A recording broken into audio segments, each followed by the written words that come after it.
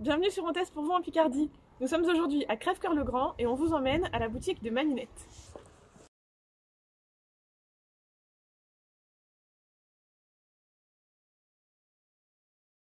C'est une boutique d'artisans, donc on a ouvert euh, le 30 avril l'année dernière. C'est uniquement de l'artisanat euh, picard, donc de l'Oise en majorité, un petit peu de la Somme. On a l'artisanat très différent. Hein. On a ferronnerie, des, des, bougies, de la patine, euh, du, bois gravé, de, de, la mercerie, tissu, etc. Euh, voilà, en, uniquement avec des artisans locaux fait, on a, on a, on s'est adapté aussi à la demande de nos clients. Hein. Donc, on a notamment ouvert une partie épicerie euh, locale. Je souvent pas épicerie fine, épicerie locale, puisque ce ne sont que des producteurs euh, locaux. Euh, donc, qui a ouvert euh, tout récemment, il y a trois semaines de ça à peu près. Et puis, euh, au démarrage, on était 18 artisans dans l'aventure.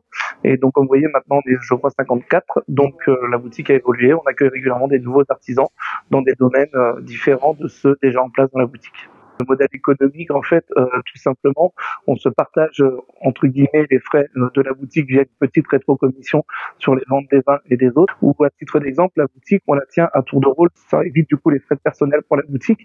On l'entretient à tour de rôle. Quand on a des petits travaux à faire, eh ben on se partage et on fonctionne vraiment comme ça, un petit peu sur le modèle d'une coopérative.